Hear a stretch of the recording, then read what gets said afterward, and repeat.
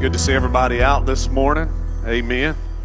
Let's do this, Mount Vale. Let's make our guests and visitors welcome. We're so glad you're so glad you're with us this morning. Amen. So glad those that are watching live stream, Facebook, and all that.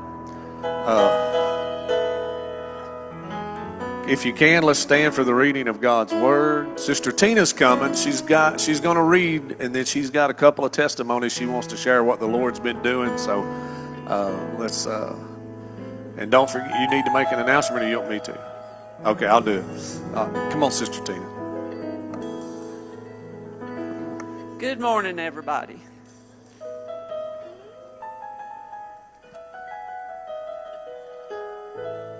Did anybody come here to praise the Lord this morning? Good. I'm going to help you here just in a minute. Deuteronomy 32 and 4. He is the rock, his work is perfect, for all his ways are judgment. A God of truth and without iniquity, just and right is he. I want to tell you what our God did. I'd been praying for an aunt that had a bowel blockage. And uh, I stood in for her when Dawn spoke the other night. Got a text the next day, the bowel blockage is gone.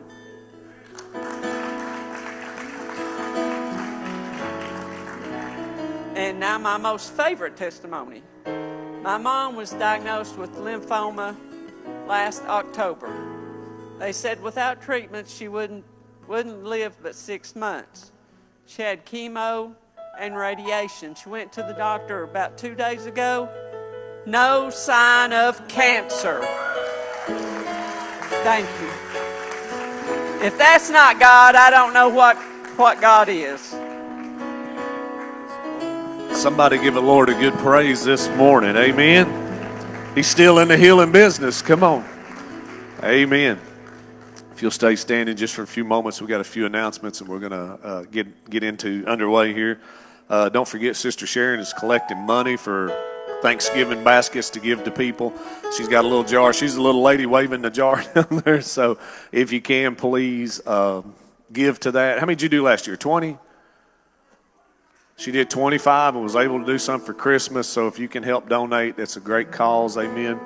Uh, don't forget that. How many knows what's happening tonight?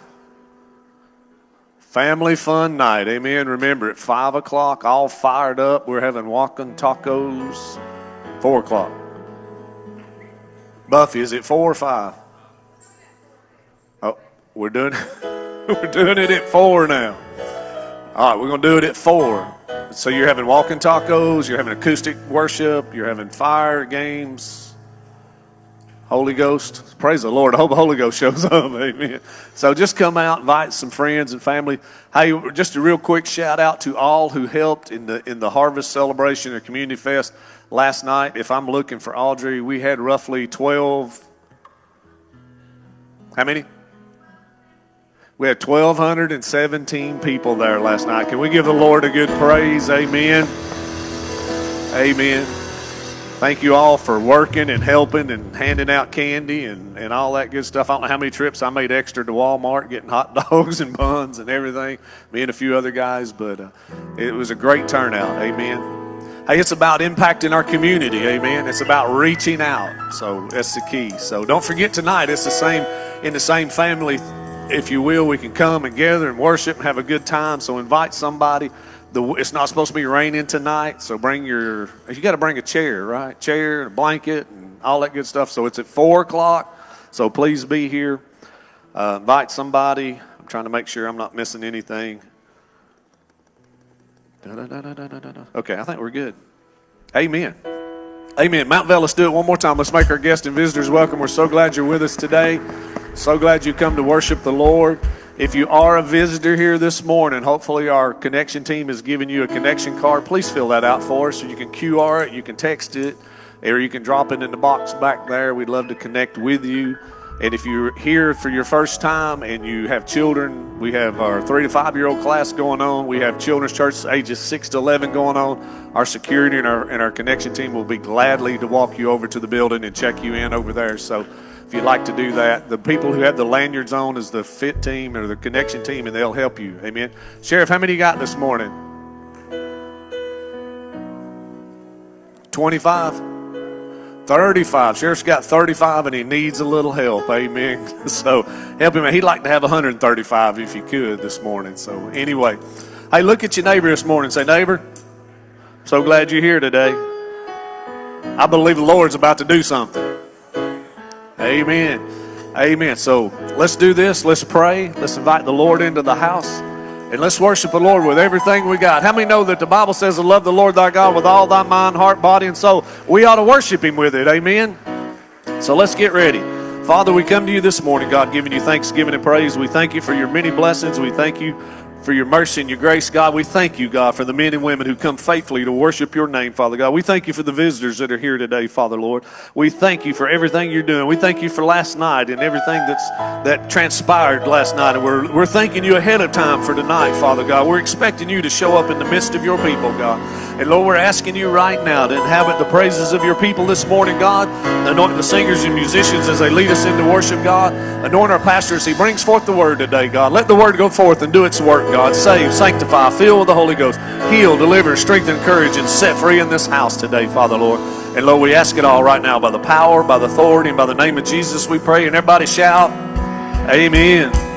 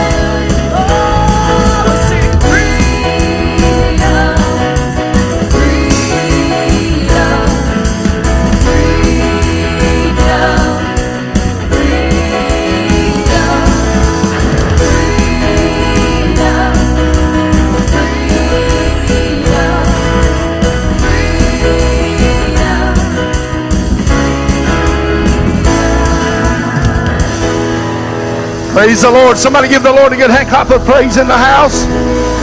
Oh, come on. He's been better to you than that. Oh, magnify the Lord with me. Hallelujah. Sing praises unto his name. Glory to God. Let's give all our guests and visitors a good warm welcome. Good to see you here today. You might be seated just for a second. If I could, amen, I'd like to uh, change the order of service just for minute moment, amen.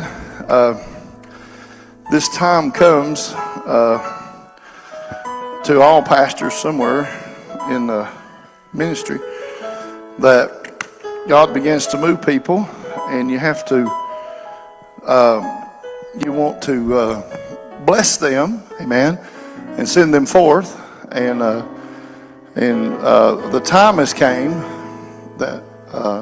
Brother Jesse and Sister Melissa are making a move for the Lord. I think we'll give God a good praise for that. Amen. But I'm asking them to come up here at the front. They've dressed that all in red.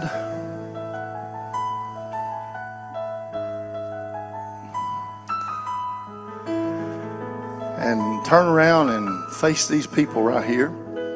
And I'm going to ask for the council to come and we're going to pray over them and ask the Lord to bless them. Amen. I think this is biblically correct. I mean, you agree with me. Amen. Hey, listen, if you're doing something in church, you don't just run off. Amen. When you get done, you stand up, you make the acknowledgments that God's making a move in your life, and you let the leadership bless you and send you forth. That's the right way to do it, right? Amen. Any more Sunday school teachers, councils, anybody? Hey, uh, don't be afraid of them. Come over here and get you some oil. Grease them up. Amen. but we do appreciate them. Amen. And and uh, the hard work. I think uh, Melissa's handing over some stuff, and I think some didn't really realize what a big hand she had, you know, in all this. And Brother Jesse's pastored before. Amen. And who knows? He, he may be going out. He may not know it yet, but he may be going out to pastor somewhere. Amen. We're not putting him out to pastor. He may be going out to pastor. Isn't that terrible? Was pun on the words, right?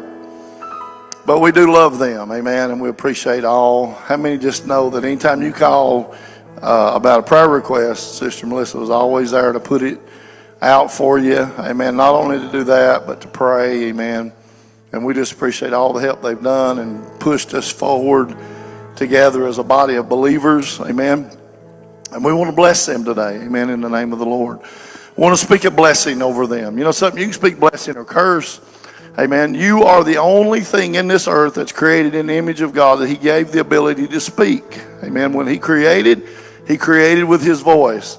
Hey, and you can read in the you can read in the Old Testament they pronounce blessings over their children. That's why you don't need to never tell your kid how stupid it is, or never be anything, or never amount. You speak life and blessings and strength. The power of life and death is in the tongue.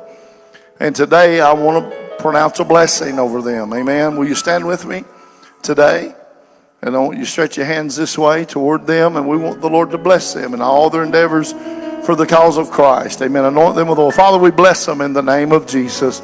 So thankful for your servants, God, that have come this way and blessed us, God, with their time and their talent and their abilities. And God, as I lay my hands on them, God, we send them forth. And we ask you, God, that you would move mightily, God, in their lives. God bless everything they put their hands to, Lord, whether it be music, whether it be ministry, whether it be pulpit ministry, whether it be teaching. God, there's so many abilities and so many talents that are in this couple. And I'm asking today, God, that you, Lord, would move in their lives. Open the doors you want them to walk into, close the doors you don't want them in.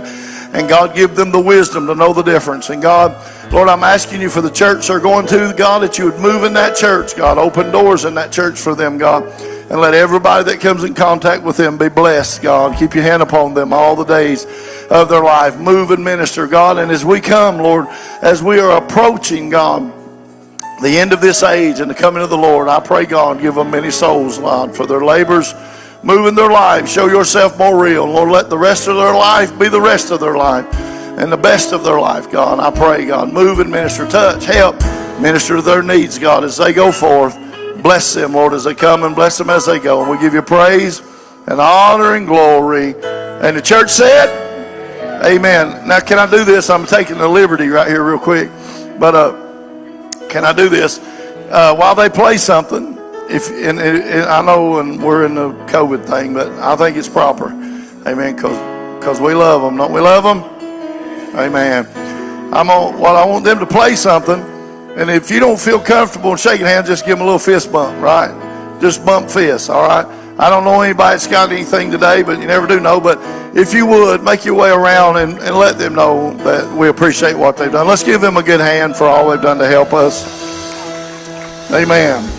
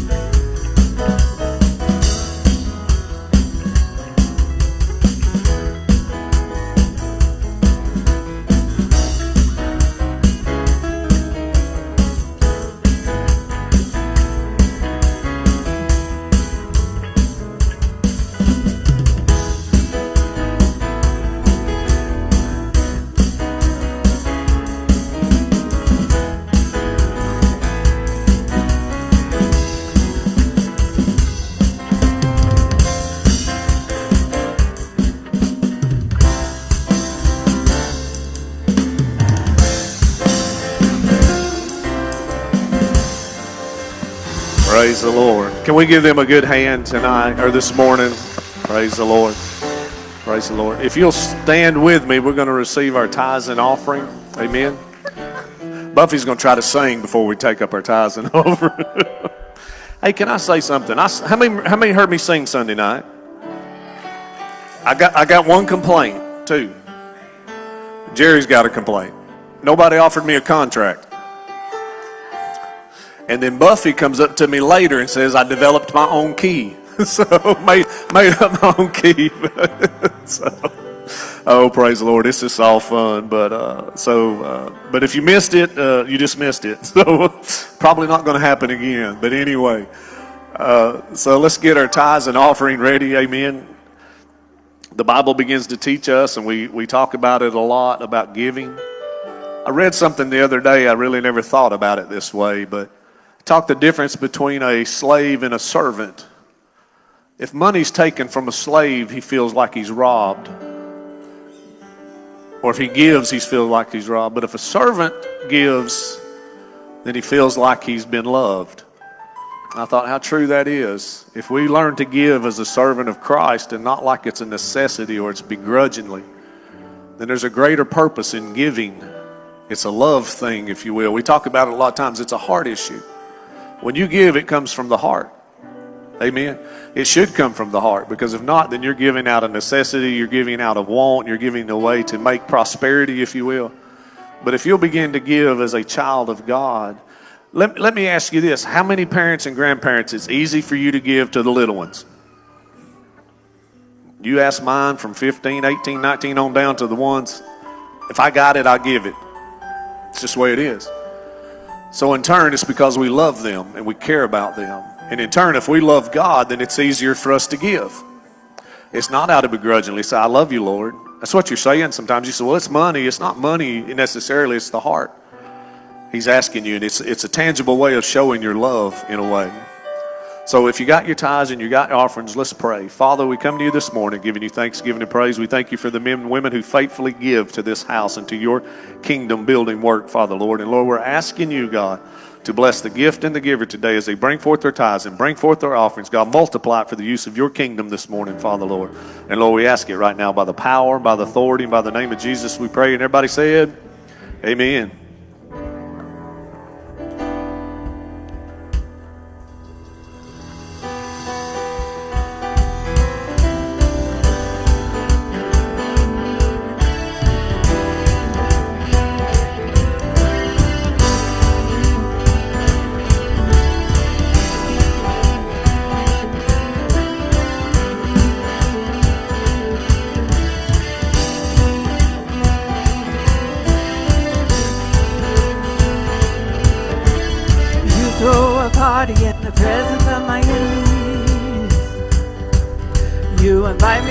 Table and you tell me just to sit in peace.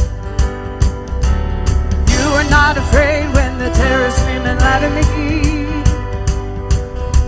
Cause you've overcome and you're the God of victory.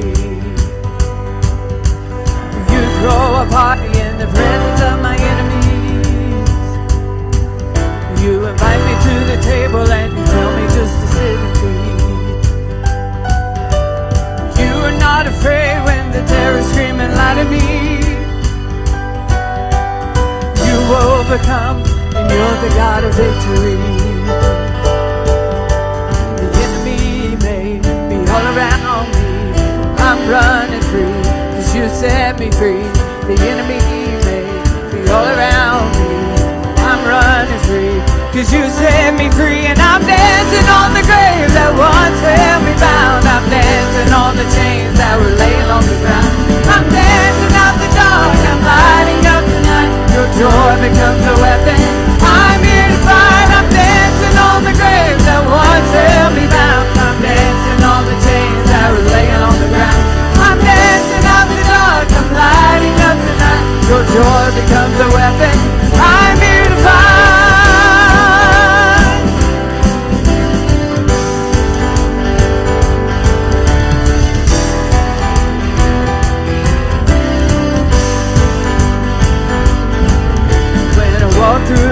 valley of the shadow I will not sit in I know you're by my side, you will never leave me by myself. So even when I'm weary, you are calling me to come and rest. Cause you cannot be stopped, you have already defeated him Oh, you cannot be stopped, you have already defeated hell. I'm dancing on ways that once held me bound. I'm dancing on the chains that were laying on the ground. I'm dancing out the dark. I'm lighting up the night. Your joy becomes a weapon. I'm unified. I'm dancing on the that once held me bound. I'm dancing on the that were laying on the ground. I'm dancing out the dark. I'm lighting up the night. Your joy becomes a weapon.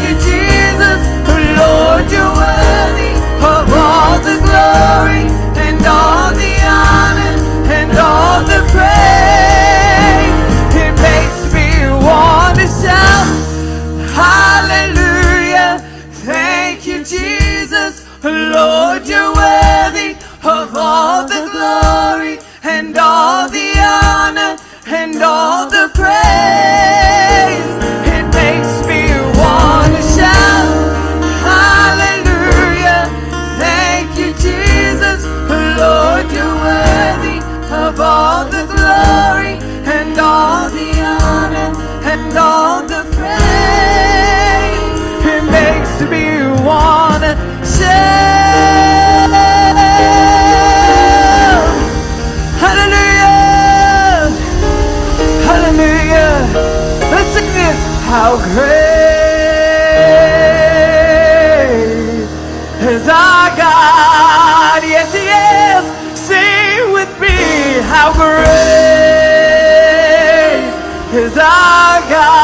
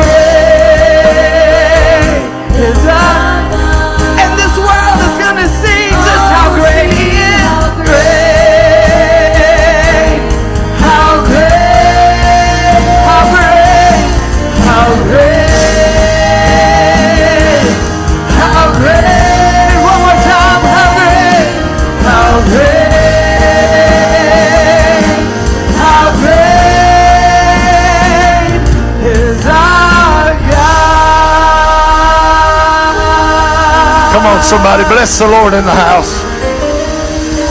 Hallelujah. You love him this morning? Amen, amen, amen. He sure loves you. Amen. Reach down, pick up your Bible. Good to see you in the house of the Lord. Let's give our guests and visitors a good warm welcome. If this is your first time with us, amen. We've got a real good track record. We ain't really ever hurt anybody too bad. Amen. that I know of, we've not hurt anybody. Amen. Praise the Lord. We're a little bit radical sometimes, but we love the Lord and we love you and we're glad you're here. Amen. And we just genuinely want to see people come to Christ and know the Lord as their Savior. Amen. Remember tonight, uh, I think it's been moved back to 4 o'clock. We've got a special little service we're going to do it on the outside. I think around the campfire we're going to do. We missed out on the hay rides and some things that we did. We had over, we know for sure, over 1,200 people came through last night. That's 1,200 folk that know where we're at now, right? Amen. And I think it's a wonderful thing. And I've had all kind of crazy people say, "Oh, it's Halloween," and you all. We ain't celebrating the devil, amen. We're counteracting the devil for Christ, amen, and letting everybody know we care about them, amen, and give them a safe place to bring their babies to get some candy, and and and and also letting them know we're here and we love you and we want to help you, amen. Praise the Lord. Luke chapter six. This will be my third uh, message um, out of this little series I've been doing. Amen. Uh, seem like I'm forgetting something. Four o'clock today. Amen. Also, uh, coming up uh, real, real soon, I've got some folk wanting to be baptized. It's a wonderful thing. Now we have that we have that baptizing pool back there. Amen. It works pretty good. We baptized 27 the first time we used it. Can you give God a good praise for that? Wow. Amen. That night we was filling the water back up again, right? And then people was running to the store trying to get shop vacs to back up all the water and it was just a wonderful time in the Lord. If you missed it, you missed it. I can't help it. Amen. But that's why y'all not miss the service. You never know. Amen. Even in this, even in this text, amen. This text speaks to the urgency of why you should be in the house of God. Amen. Because you never know when Jesus is really going to show up. Amen. And I promise you, the very moment, the very service you miss, amen. My God, I mean, he'll show up and everybody will feel the nail prints in his hands and you'll miss it. Amen. So if I was you, I wouldn't miss another service. Touch your neighbor and say, I wouldn't miss if I was you. Amen. Amen. Because you never know, right? It's not contingent on how you feel about it. Amen. He just shows up. Uh, this little guy we're going to be talking about here in a few moments, he never expected anything. He was just going to go to church. You know, I think that's the worst thing you can do is just go to church, not expect anything. It's like it's like going to the steakhouse and and not just going to say, "No, I think I just drank the water and sat here." I'm going. I go, baby. Look, I'm I'm gonna put two or three chefs to work when I go. Amen. They're gonna be cooking something for me. Amen. I'm gonna eat something when I go there. Amen. And it's the same for the house of the Lord. Do you know something? The spirit of expectation is the breeding ground for the miracle that you need in your life. If you come to church and you don't have any expectations, you don't make a draw on heaven, amen, then most likely you're not going to get anything anyway, right? But, but you know what? For, for those of us who know, amen, that he might just show up this morning. It might be tonight. It might be Wednesday night.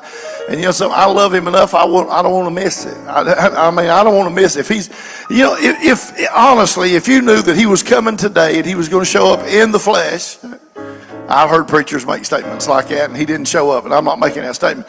But if he showed up in the flesh and you knew he was going to be here, would you show up? Man, they'd be parking cars out here. Jesus is about to show up. You know something? Look at your neighbor and say, Jesus is about to show up in here this morning. Luke 6 and 6. When the Lord comes looking for you. And it came to pass also on another Sabbath, they entered into the synagogue and taught. And there was a man whose right hand was withered. And the scribes and Pharisees watched whether he would heal on the Sabbath day that they might find an accusation against him. Amen. But he knew their thoughts. Isn't that wonderful? He knows, he knows mean people's thoughts, don't he? And he said to the man which had the withered hand, Rise up and stand forth in the midst. And he arose and stood forth. Then said Jesus unto them, I will ask you one thing. Is it lawful on the Sabbath to do good or to good or to do good or to do evil? To save life or to destroy it? And looking around about upon them all, he said unto the man, Stretch forth thine hand. And he did so. His hand was restored whole as the other. Let's pray. Father, today, God, I stand before a judgment bound congregation of people. Lord, for we all must appear before you one day and give an account to the deeds that we've done in this flesh.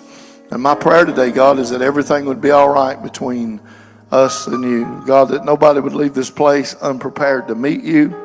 That God, we leave this place with a greater hunger, a greater desire to know more about you. And God, I'm asking you, Lord, I'm preaching on when you show up. And I'm asking you to show up today and touch in these altars and move and save and heal and deliver and draw the backsliders home. And Lord, I pray, God, today that we'd all be ready. My prayer today, God, if you'll answer this prayer for me, oh God, that everybody under the sound of my voice and everybody that's listening my Facebook and in the internet, that everybody that hears this message today would be ready or get ready. And we give you praise, honor, and glory. And everybody said, you might be seated in the presence of a living God that loves you today. Amen.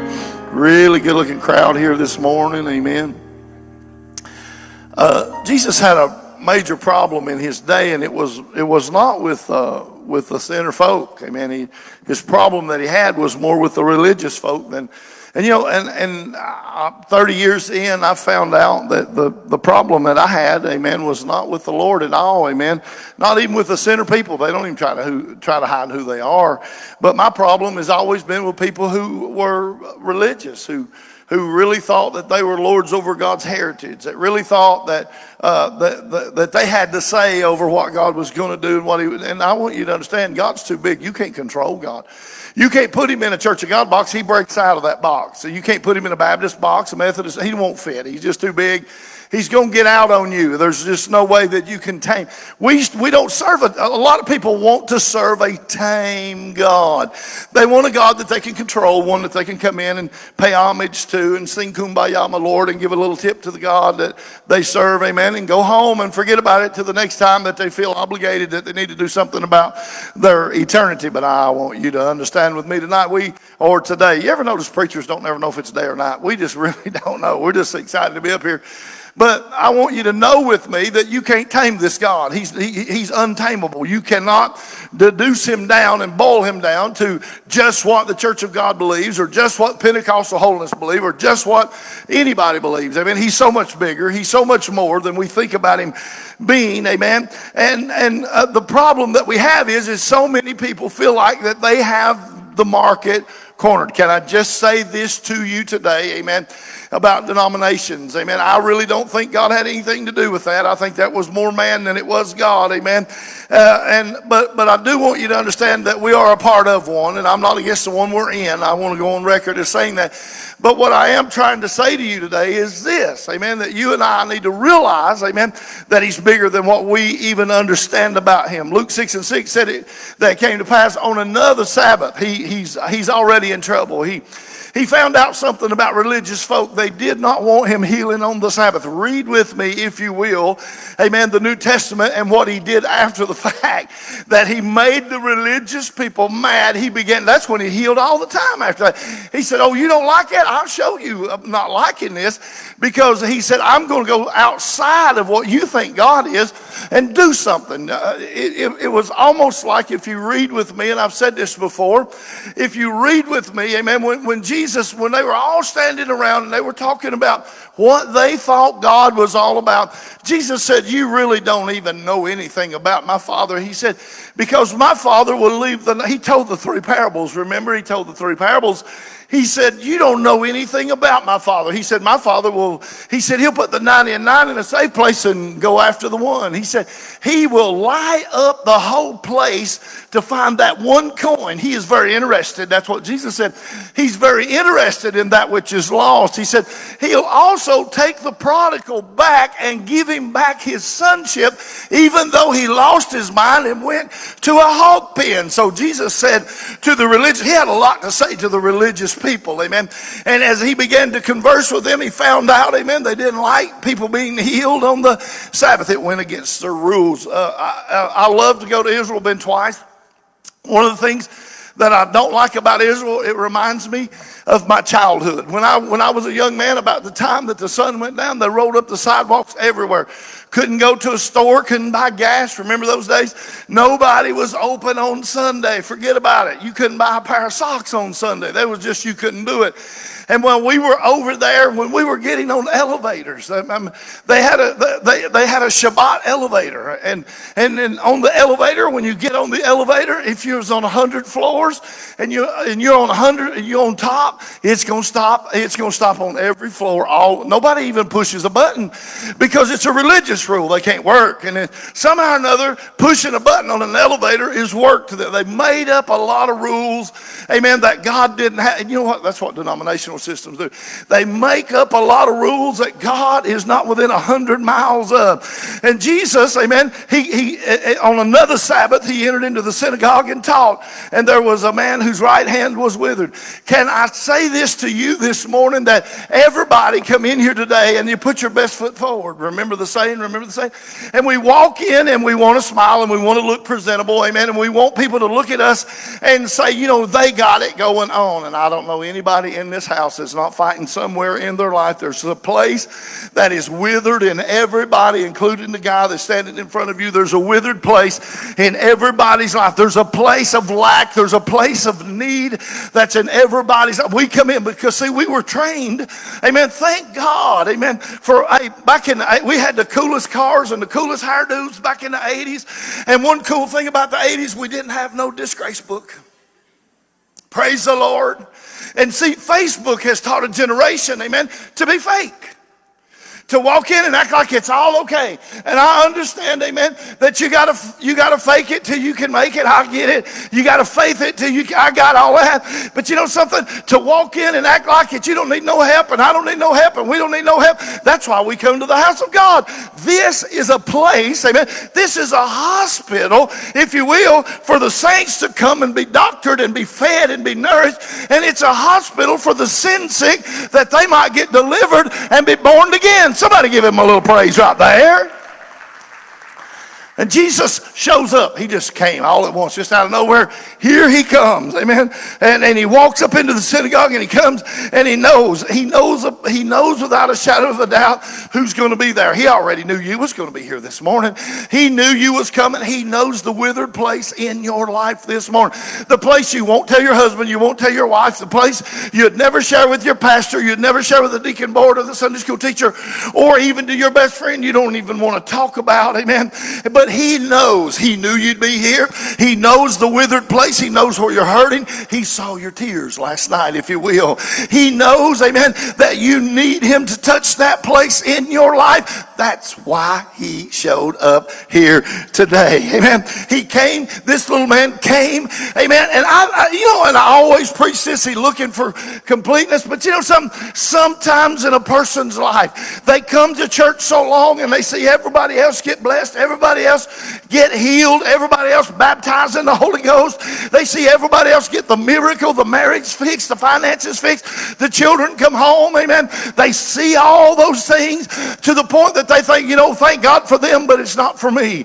We get a mentality around the house of God. Well, I was over here, Jesus, and you walked right by me and healed the one on the other side of me. Or, or, or, or, or I saw you, the person in front of me was truly blessed today, and after year after year of coming, you develop this mentality that says that God will move for everybody in the building. But I don't think, I used to preach he come for completeness. I think he just come because he loved God. I think he just came because, amen, that he wanted to be where that somebody was talking about the Lord, that he could learn more. See, I want to commend some people that have come year after year and, and, and not got what they needed and the family did not get healed and, uh, and, and, the finances didn't come. What happens when that happens? You just serve God anyway. You, I, I want you to, I've been prophesying this for a day or two now, but I'm telling you, the prosperity preachers are about to go out of the business. They're going to have to. They're going to have to. Amen. Uh, uh, uh they're going to have to because, see, they're selling you. I, I was watching a guy, and I shared this in Sunday school. I was watching a guy, and he was preaching, oh my God. I was going, I was, I was trying to find out where I could sign up for all these good things that God was going to do. And it was money and it was cars and houses. And I, and, and I just, I just, everybody was hitting on our praise the Lord, hallelujah. I just topped in there. I said, hey, I said, the money will do you no good in eternity. I typed back in. I said, what about winning the lost in these last days? I, I mean, I hit him with three or four little things there. He never did answer me back. Can I tell you this? There's some that preach a gospel of prosperity prosperity. And I'm not against you being blessed. I want you to be blessed. I'd be crazy not wanting you to be blessed. I'm asking God to bless you. I'm asking God to bless you that we can fund the furthering of the gospel of Jesus Christ. Amen. From Jefferson City, Tennessee. But can I tell you, Jesus didn't come and die so you could be rich. He didn't show up this morning to pad your pockets with $100 bills. He came by this morning and his only concern is your well being. He wants that withered place in your life to be healed. Somebody give God a good praise right there. I think he came maybe looking for some companionship. I think he maybe he came looking. Uh, uh, he he came because he had a need and he knew, but he wasn't really expecting. And every time we walk through the doors, somebody is hurting, somebody's sick, somebody almost, see, I'm talking to somebody this morning that almost gave up. I, am talking to somebody who was ready to throw in the towel, and the Holy Ghost came and touched them this morning and said, Get up, get ready, go to church. I'm going to touch you in a withered place. See, I want you to know, amen, that there's a lot of people that commit apostasy in the hard times. And can I say this about a hard time this morning. Listen, oh, if you'll look at the magnitude of the trial and the fight that you're in and realize the enemy was not fighting you because of you, but it's because of the potential that you have to do damage to the kingdom of darkness. God, amen, should open our eyes that we should be able to embrace the fight. You are going to be in a fight, friend. Paul said at the end of his life, he said, I have fought a good fight. He said, I have kept the faith. And the enemy only fights people of potential potential. And if you're being fought this morning and you have a withered place that you'd rather not talk about, I'm talking to you. If you come through the doors and you almost gave up and you almost throw it in the towel and you almost walked away, I'm talking to you today. Amen. I come to tell somebody this is not a time to get away from God. This is not a time to say, I can live as good at home as I can at church. No, you can't. Stop lying to yourself. You can't do it. Amen. People lie to themselves and they're going to go to hell for that. I ain't going to hell with you. Amen. I'm going to come to church. Amen. Every time we come in the house of God, somebody comes and they're withered and they're hurt by the things of the world. Amen. Amen. Luke, the physician, describes it and says it was his right hand. And, and right hand, right hand represents fellowship. And fellowship was broken in this man's life because of the withered place in his life. Can, can I tell you this? That 99% of the people who don't go to church blame you and me. I get blamed more than you do, but I mean, it's my fault. And, I, and, and a lot of times it's just grabbing for straws and reaching for reasons not to be here. Amen. And you can get mad at me, but listen, we're too late in the game, man. We're too close to the coming of the Lord for me to stand up and pat you on the back and say everything's cool and everything's good and everything's all right. It's not a time to be lax. It's not a time, amen. It's not a time for, it's not a time not to be in fellowship. That's why the Bible said, not forsaking the assemblies of yourselves together, the manner of such is, even the more as you see that day approaching. It's time. I, I, you know something? I don't know what's going to happen tonight, but I'm believing God's going to show up. I, am not looking for a reason not to come. I, I got my reason to come. 2,000 years ago, hanging on the cross of Calvary, He gave me all the reason in the world. I'm looking for Him. But Luke, the physician, said his fellowship was broken. It was his right hand of fellowship. A lot of people have broken fellowship with the church, and I know why. I, I get it. I understand. We are so worldly minded, amen, that we'll fight and fuss over colors of carpet who sings when and whatever, amen. And we don't realize that ministry's not even in here anyway. You come to get filled up, to go out, to help somebody. Ministry's on the outside. I taught that this morning in Sunday school. If you missed Sunday school, you missed it. But Peter and John going up to the hour of prayer, they didn't get inside the synagogue. They were ministering on the outside. The ministry, the crippled people are out there. Come on, somebody. The lost most of the time are out there. Amen. But what's this? This man, he had lost fellowship, his right hand. Galatians 5 and 7 said, You did run well, but who did hinder you that you should not obey the truth? A lot of people that used to sing or teach or preach, now they have broken fellowship. Amen. They're withered in a place in their lives. Amen. They're at a place in their life that they don't feel like God could ever use them again.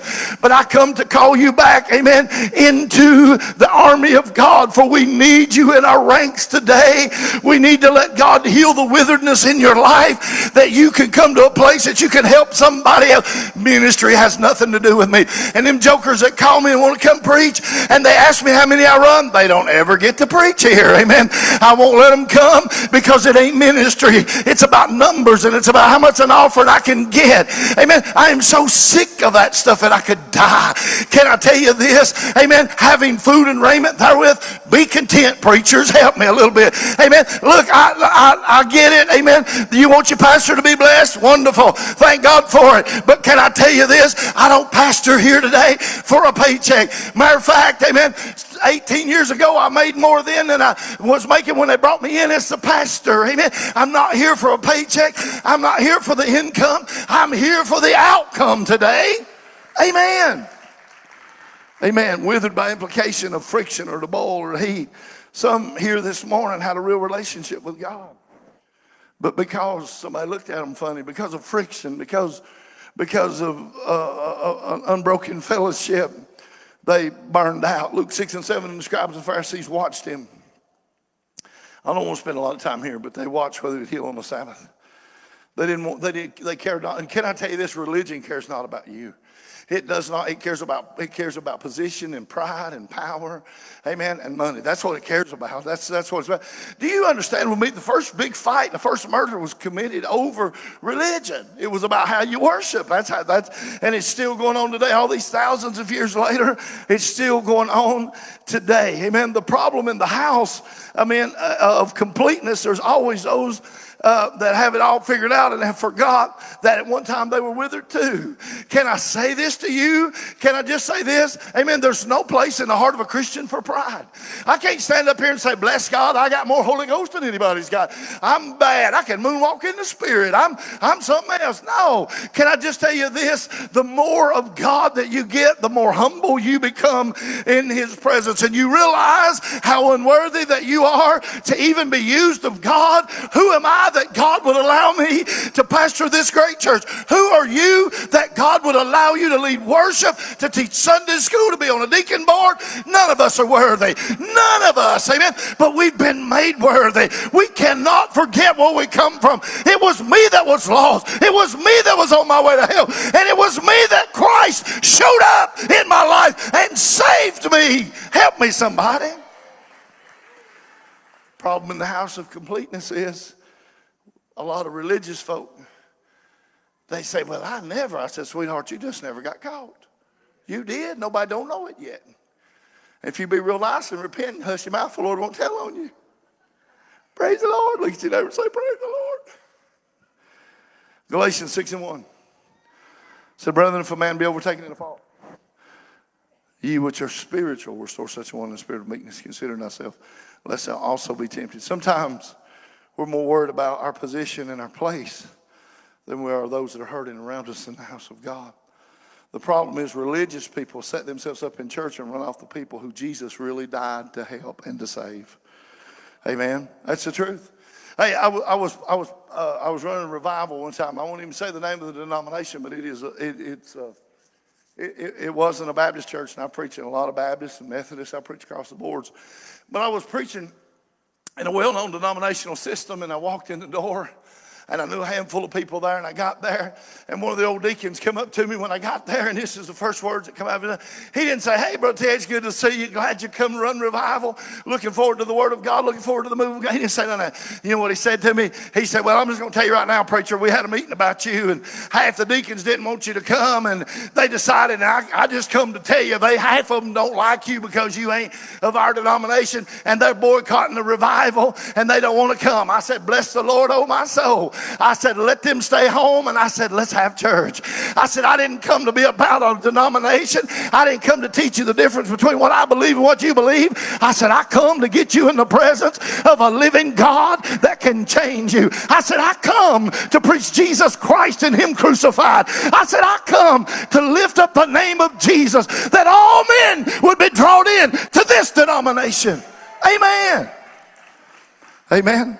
He didn't know what to say. He went back and told them, but they're still mad they wouldn't come. And so, and you know what? They missed out. Amen. And, um, you know, the problem was, the problem for the people that was mad at Christ at this time is they realized that he was their friend.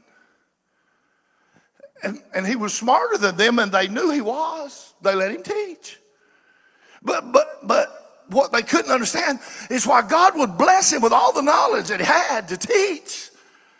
And he still liked people of ill repute. He, he come for them. Uh, he didn't come for them that are whole. They, they that are whole need not a physician. He said that.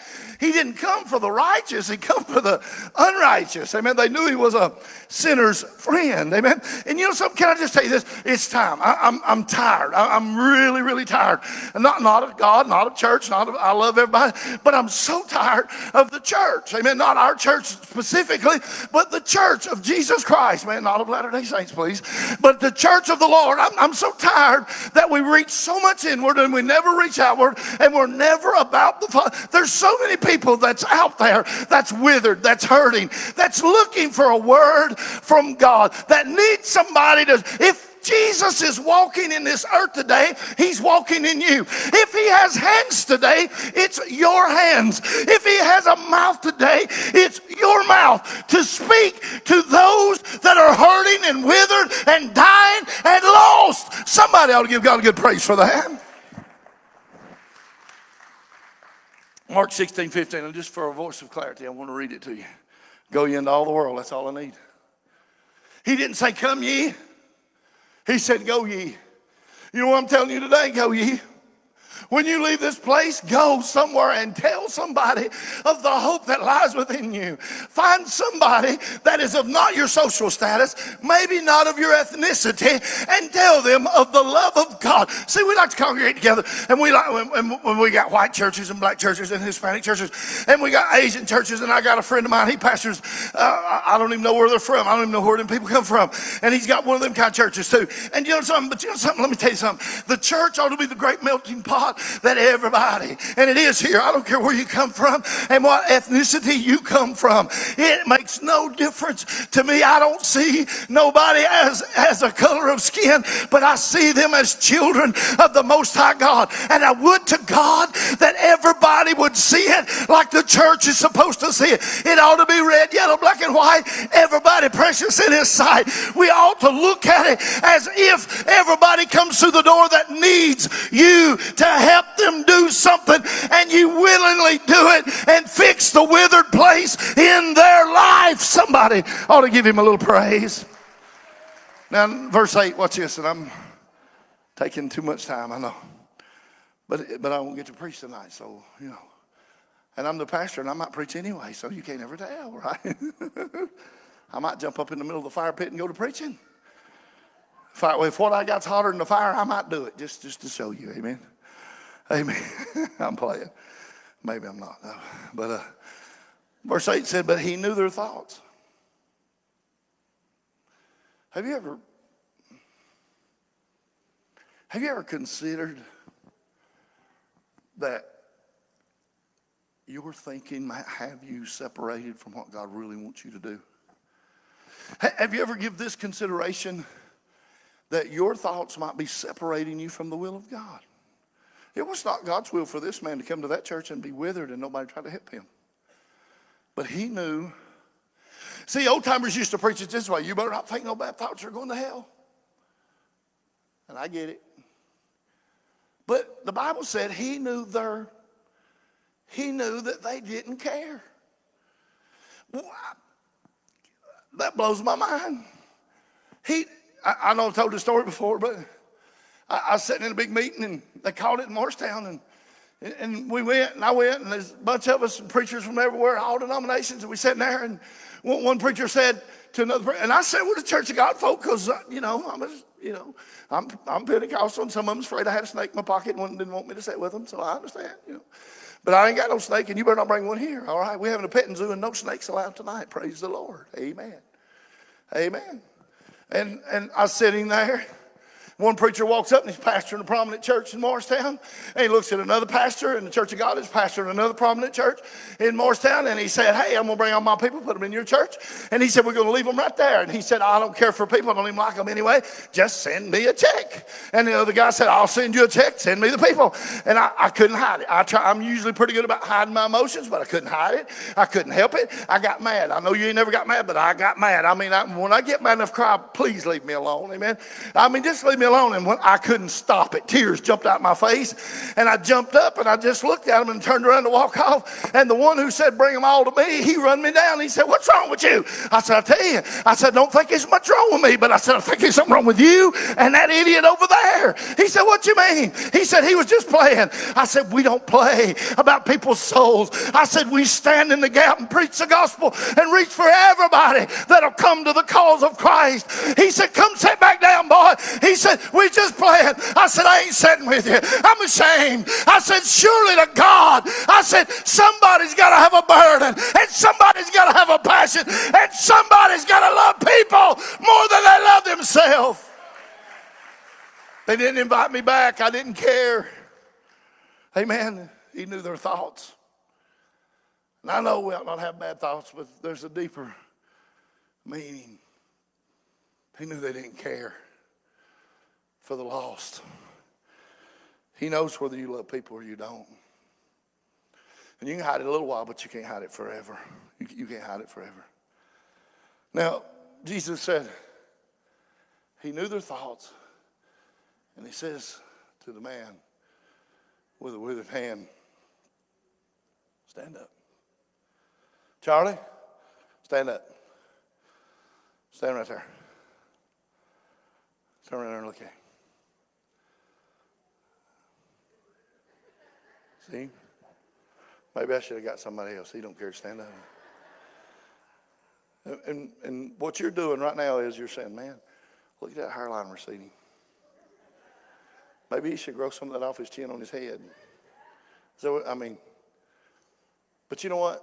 Now, Charlie don't care. That's the reason I got him. He's a, he's a good guy and he's a good sport about things. And he might just have to stand out the rest of the message. I don't know. But, uh, but nobody wants to be stood up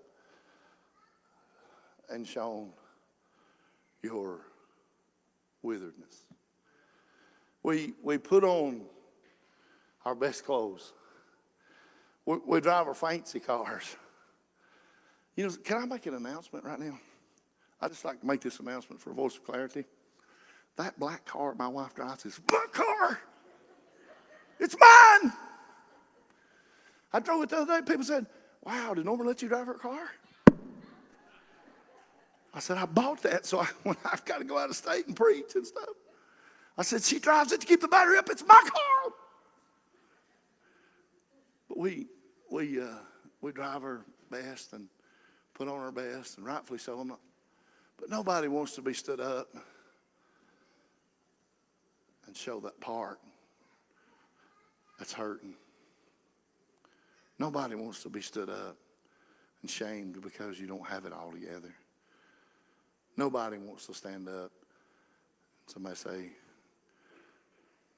they ain't got no money, let's take up an offer and help them. Nobody wants to be shamed. Jesus said, you can sit down, brother. Jesus said, you can sit down. Hey, I don't think he wanted to. I think he wanted to stay up here. but Jesus said, stand up in your witheredness. What he essentially said was this He said, I want you to stand up. I already know. I had a friend of mine, I, know I told a story years ago, but he, there was a block of wood fell off on a, on a cut-off saw. Tim's brother and my cousin used to run them things. And, that, and I'm, I'm telling you, they just tap that button, and I'm just cutting that wood. And uh, there's a guy we worked with. He cut, it cut his hand right here across this way, and all he had was just a little part of that thumb. All he had. And if you met him, I seen him at that store, and he used to run around with his hand in his pocket. You know why? Because he don't want nobody to see his witheredness. Jesus said, "Stand up in the midst." He said, "Everybody's going to fix to see what's going on." Nobody wants to be put in that position. He said, "Rise up, stand in the midst." And the man stood up. Give me my next verse behind it, verse 9. Verse 9, please. There it is. Then Jesus said, He didn't say anything to him to begin with. He said something to them. He said, I want to ask you something. He says, Is it good to do good? Is it right to do good? or do bad. He said, This man is in our midst. He's got a withered place. And you ought to want to see him healed. They're not worried about his condition. They were fine with just leaving him like he came. They were absolutely fine with it. They didn't care if he was crippled. They just wanted the religious rules kept. Amen. Luke 6 and 10, and then he says the unthinkable. He says, stretch forth thy hand. He said, I want you to show everybody where you're withered at. And he did so. And the Bible said that his hand was restored as the other. We try to hide our weak side. They're going to come to the music. I don't mean anything, but they're going to come. But we try to hide the weak, the withered parts that we don't want nobody else to see. Amen. We don't want anybody to see our bondage. So we, without, and I said a little bit about this in Sunday school, but see if I can say it right.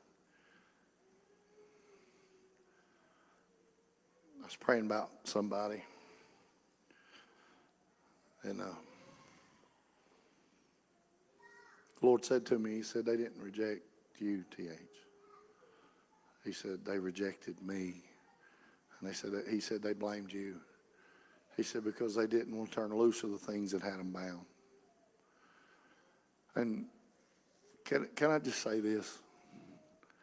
Every one of us walked in this door with a withered place in our life.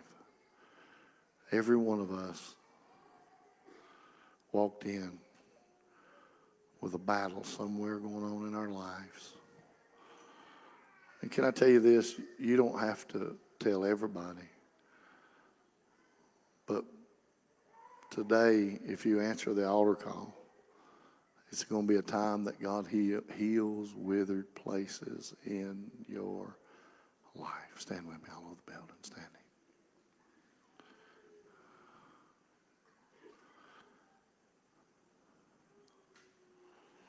I cut that message real short because I felt the presence of the Lord coming in this house. As I play something softly, can I can I talk to your heart just for a minute?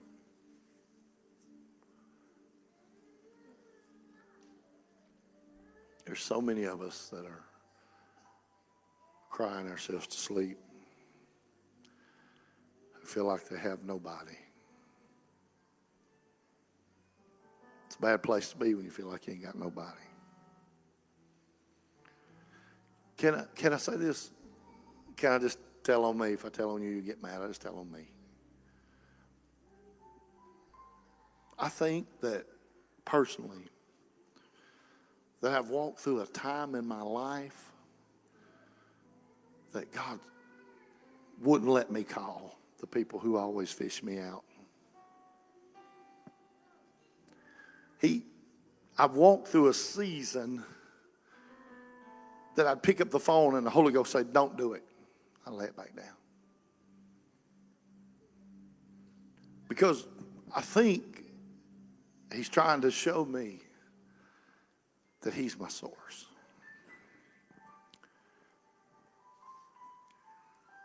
And when I feel all alone, and you know, you know why a lot of preachers quit? They, they surrounded by people, but they're all by themselves.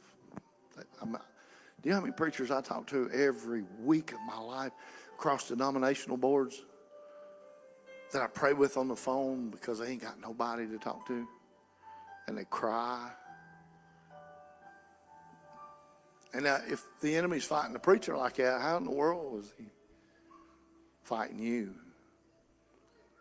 And you think because that thing keeps reoccurring in your life, and you just keep coming to church that there's no hope to ever be free, but today's the day you get free. Today's the day, now is the accepted time, today's the day of salvation. I'm not saying you're lost because you're struggling. I'm just saying that you can get deliverance today in this house.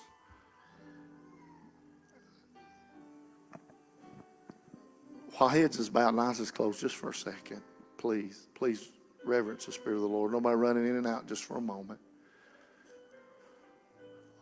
I want to talk to the real people that's in a real struggle, that's in a real fight.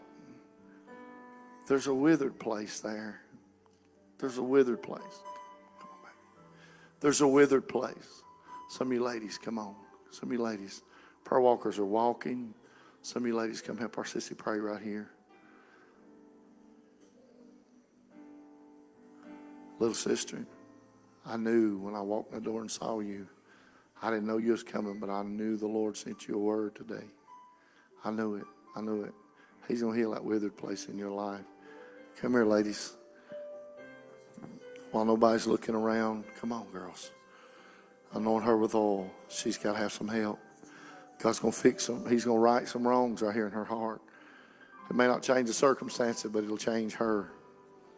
He's going to fix his heart. Nobody's looking. Saints of God praying.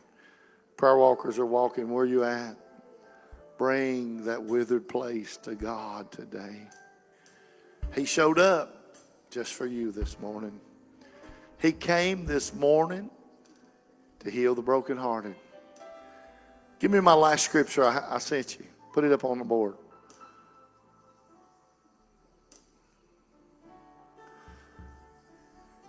They're still up there, they may not be up there. Would you come? Look at the last scripture I put in this. It said, The Spirit of the Lord is upon me because he hath anointed me to preach the gospel to the poor. He hath sent me to heal the brokenhearted, to preach deliverance to the captives and recovering of sight to the blind, to set at liberty them that are bruised. If that's you this morning, I'm opening the altar for you. Come on, saints, pray. Come on, sir. Would you come? Would you bring that addiction and lay it on this altar up here? Ma'am, would you come and bring that bitterness, that hurt, that came from a previous relationship? Would you come today? And would you let God fix that withered place in you today? Young person that's battling, this is a real problem. And I'm not even going to ignore it because the world has put so much emphasis on sexuality. Young person that's battling with your sexuality, come today and let God fix this for you. He already made you who He wants you to be. He'll affirm that for you today if you'll come. Would you come? If you're battling depression, it's a withered place in your life. Please come today while it's yet called today. Come on, some of you ladies come gather and help this lady right here pray. Surely it's not only the ladies. There's some men in here need some help this morning. Come on, tough guys. Let's lay it aside and bring it to God today and say, God, I've got a weakness. Even Superman had kryptonite. Help me, somebody. God, I've got a weakness and I need some help. God, I've, I've succumbed, I've failed, I've, I've fallen to this thing too many times, and I need help, whether it be hate, whether it be bitterness, whether it be lust, whether it be porn, whether it be liquor, whether it be pills, whatever it is, bring it to God right now. Would you come? Would you come? Would you come?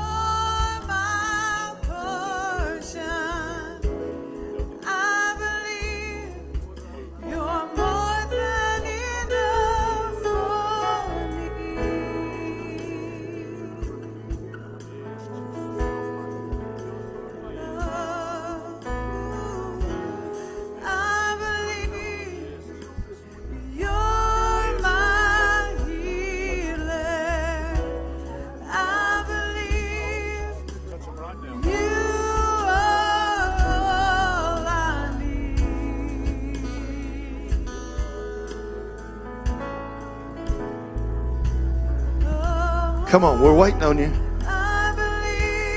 We're waiting on you. Come on, come on, come on.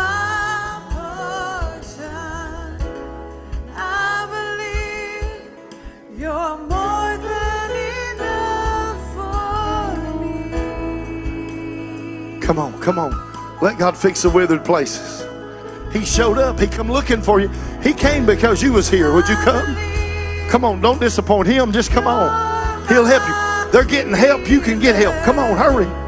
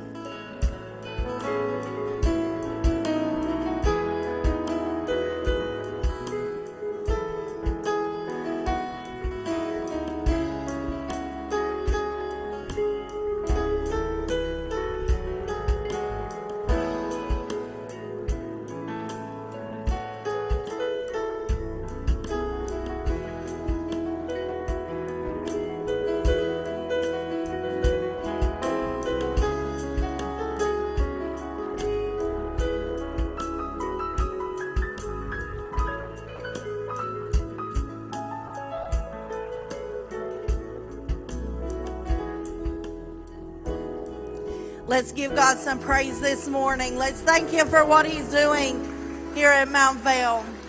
God is so awesome and worthy to be praised. Don't forget, tonight starts at 4 o'clock instead of 5. So please spread the word that it starts at 4 o'clock tonight. Don't, for, don't forget, go tell somebody, come out and let's have a wonderful time. God is so awesome at what He's doing here in Mount Vale. Um, don't forget, Wednesday night we have service again at 7 o'clock. Go tell somebody, invite somebody. Let's stand and go before the Lord in prayer. And as we are praying, I would like for you guys to help me pray for Robbie's grandmother. She's not doing very well. I got a call in the middle of service. Uh, they've asked her to start moving her legs and her arms, and um, she's in a, a coma. They don't know why. They don't have everything's coming back good, but she's not. She won't move on response, so that she's still unresponsive. So let's let's continue to pray for her. And let's pray that God will bless us tonight as we come together tonight. Dear precious Heavenly Father, God, we thank you we worship you, God, for what you're doing here at Mount Vale, God. We thank you, God, for what you have accomplished here today, God. We thank you, God, for our wonderful pastor bringing forth the word that you gave him, God. God, we pray, God, tonight, God, that you'll help us, that we'll come together and we'll have a great, wonderful time tonight, Father. And God, we pray, God, that you'll hold back the rain, God, so that we can come together tonight, God. And God, we ask you a special prayer for Robbie's grandmother, God. She's up there at Fort Sanders, God. We pray, God, that you'll touch her body, God. And God, that your will be done, God. We ask you, God, for all these things in Jesus' name we pray. Amen. See you tonight at 4 o'clock.